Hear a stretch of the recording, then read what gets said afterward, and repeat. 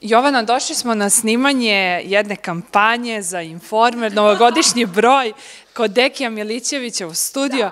Da. E, kaži mi, da li ovako nešto prvi put radiš u svom životu? Da, ovo mi je prvi put da imam ovako ozbiljno e, slikanje. E, uvek mi je bila želja da radim sa Dejanom Milićevićem, jer Dejan je stvarno brend i e, naš najbolji fotograf, jer jednostavno on ume da izvuče iz e, javne ličnosti sve ono što treba da sakrije nedostatke. Jer on nije samo fotograf, dakle on je ceo paket. Ceo paket. On je pre svega psihijatar, pa je tek onda na kraju sve ovo drugo. Tako je. E, reci mi, šta možemo od tebe očekivati u novoj godini? Da li će rejting goreti? Ma, to, to se već podrazumeva. E, od mene se očekuje uvek nešto novo. Očekuju se e, nove priče. E, nove priče koje ću naći, koje nalazim time što se ja ne odvajam od naroda i od građana i što ljudi mene strašno vole. Po, ja to vidim po tome i kada razgovaram sa njima i koliko mi se javljaju i kakve priče prijavljuju, oni meni otvaraju dušu. Bukvalno nikom drugom to ne bi rekli, čak ni svojoj majci, niti mužu, oni meni pričaju.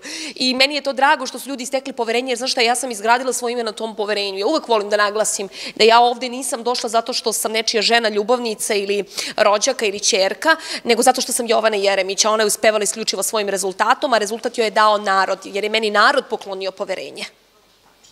E, da li je tačno da ispod tog kimona nemaš apsolutno ništa? Apsolutno ništa apsolutno ništa ako izuzmemo ove moje cipele, e, zato što e, takav je bio dogovor, jer pravimo nešto da pomerimo granice, a ja volim da provociram sve što je na nivou provokacija, da ne bude jeftino, nego da bude ekstravagantna provokacija, e, to je Jovana Jeremić. Ona je potpuno svoja i onako kontraverzna u svakom smislu. E, mnogi tvoji fanovi kažu da ćeš e, voditi jutarnji bez odeće. Da li to možemo očekivati u novoj godini? Slušaj, e, ako budu glasali građani Srbije da ja vodim jutarnji program bez odeće, odnosno gola, Ti ćeš ispuniti. Da ti kažem, ja ću im ispuniti želju. Evo, otvoreno to kažem, ispunit ću im želju. Ja ću biti ta prva koja je to uradila u istoriji srpskog novinarstva, jer i gola da vodim jutarnji, narod mi veruje. A nekome ko se zakopča do grla, oni se mučenice trude, pozakopčavaše se, preobu, preobukli se 500 puta, daj do grla, daj ispod grla. Opet manji šer, opet im narod ne veruje. Znači nije do odeće, do osobe. Do osobe je. Znači ti možeš da budeš kako god hoćeš obučen, ako si kurva i ako ne umeš da radiš svoj posao, džabe ti odeća, a ako si gola, a poštena si u svakom smislu kao žena, to zrače iz tebe. Tačno. E, ovde vidimo i e, na setu sve je nekako pink, e, retro televizor, kapica, rukavice, sve je pink. Da. U skladu sa televizijom, je li tako? U skladu sa televizijom gde radim, ja to volim da kažem, to nije televizija, to je moja kuća, kuća, duša moje duše, kuća od koje sam ja dobila svoju uh, kuću, kuća koja mi je uh, pružila veliko poverenje, kuća koja me prihvatila onda kada sam otišla sa uh, Happy-a i ja to nikada ni Željko ni Milici ne mogu da zaboravim.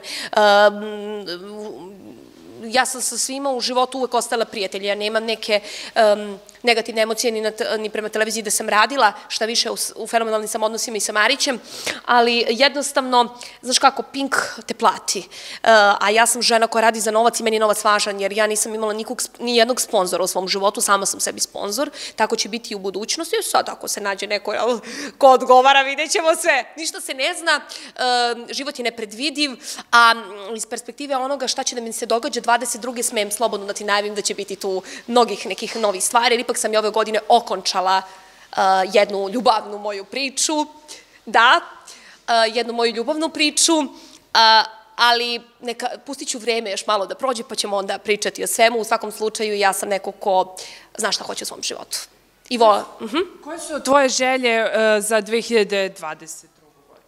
Za 2022. godinu imam samo jednu želju, to je da uh, volim i da budem voljena, ali onako što je meni potaman. Znači, 24 sata da osetim jednom u životu da imam zaštitu, da imam podršku. 31 godinu imam, nikada je nisam doživela. Evo, bilo je tu i bivših momaka i uh, ozbiljnih veza, jer ja sam samo imala ozbiljne, ali nikada nisam imala nekog uh, koja je potpunosti za mene i da ne moram da se sekiram.